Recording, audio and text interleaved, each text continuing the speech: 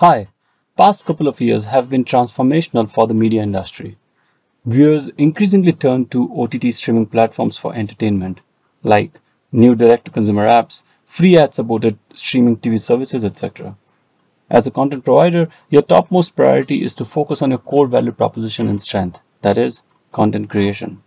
With the plethora of choices available for subscribers, it's absolutely critical to have the best content created and available. However, most of the content providers spend an enormous amount of time on content delivery, subscriber experience, and integration between different tools. Today, YouTube has huge global reach and massively scalable video streaming service with very granular and flexible monetization capabilities. Imagine, as a content provider, you get to build on the delivery infrastructure and monetization capabilities similar to that of YouTube. Introducing an integrated solution of Google Media CDN and Google Ad Manager, which provides industry's best subscriber experience by bringing together the magic of YouTube and Google's advertising technology. Now, what is Media CDN? Media CDN is Google's purpose-built media delivery solution leveraging the same infrastructure that is used to serve YouTube content to over 2 billion users around the world. Over the past decade, Google has built tremendous capacity and reach in over 200 countries and territories and more than 1300 cities around the globe.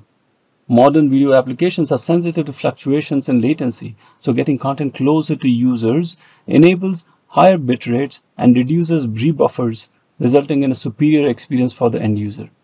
Media CDN integrates this infrastructure strength with additional performance, security, and extensibility features to help you deliver and scale exceptional viewer experience and Google's Ad Manager's dynamic ad insertion needs no introduction.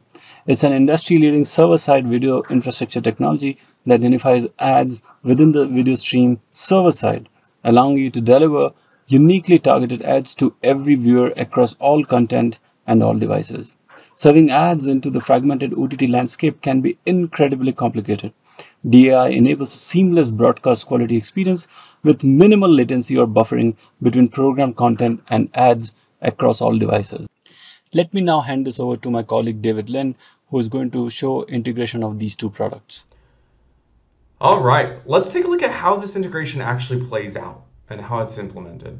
So let's assume that Google Ad Manager has already been configured here. We've already created a live stream. We're just looping Big Buck Bunny on the back end and creating a live uh, linear stream out of that. We've enabled token authentication and we've also enabled conventional path forwarding. Let's take a look at what goes into the media CDN piece. We have three different routes that we're going to configure here. One for the master manifest, one for the media playlists, and one for the media segments. Now for the master manifest, we can see that we're matching on any master.m3u8 we're actually going to send these straight to the Google Ad Manager's dynamic ad insertion as an origin.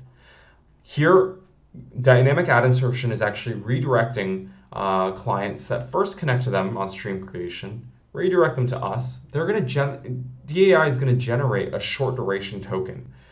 The token is going to be kept in the HDNEA query parameter, and it's going to be using the HMAC SHA-256 algorithm to generate an HMAC. And so on this route, when we're serving that master manifest from Google DAI, we will require tokens and we will verify the HMAC against the HMAC key set defined here. This key set is holding the same authentication key that we've uploaded to Google Ad Manager to actually generate the original short duration token. Here we'll just we'll just verify it with the same shared secret. Now we'll also be adding signatures to the returned uh, master manifest we want to generate tokens here and generate a Google managed long duration token. Because that short duration token isn't valid for long to prevent uh, easy link sharing, we'll create a long duration token using a Google managed key set. It's going to use asymmetric ED25519 uh, signatures for optimal performance and security. And we're going to copy the ACL and ID parameters through to this long duration token. So now that we've passed this back, we're giving back a master manifest with the media playlist URLs modified with a long duration token.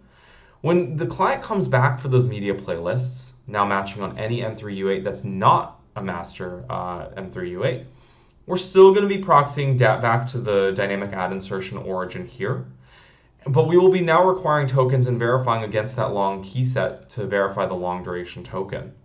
And now instead of um, appending, you know, generating a new long duration token valid for another day, we're actually just going to propagate the existing long duration token into the URLs for each media segment on the returned manifest. And now for the final, uh, now for the final uh, route for media segments that are going to be served, we're actually going to point at the content origin this time, and this is going to be actually cacheable content uh, that'll be served from Media CDN's caches directly, but fill from the, the um, content origin. And here again, we just require tokens. We'll verify it with the long key set, these ED25519 signatures, and that's it. Now that we have this set up, why don't we take a look at what it actually looks like. By pinging Google Ad Manager's uh, dynamic ad insertion, it's going to give us a redirect that actually passes us back to a media CDN URL, but this time includes the HDNEA short duration token. Once that gets sent through media CDN, we validate the, the HMAC, uh, make sure that it's valid, right? Make sure that it hasn't expired yet.